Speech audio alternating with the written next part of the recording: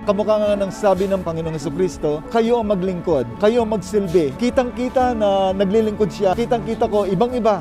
One of a kind, wika nga ay leadership by example, leadership by serving.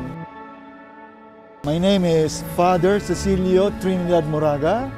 I'm 71 years old. I'm a Roman Catholic priest and a missionary in Peru. Nung dumarating ako mula sa Los Angeles, sinabihan ko yung mga pamilya ko, mga kaibigan, sa halip na bibisitahin ko kayo, nandito ako sa Lenny Robredo Kiko Pangilinan Headquarters. Palagay ko mas makahulugan ito na gawin para sa mga biktima ng bagyo.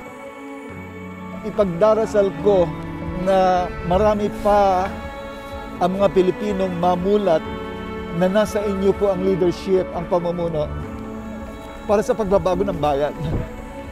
Matagal na naghirap ang mga Pilipino, nasa inyo po ang pag-asa.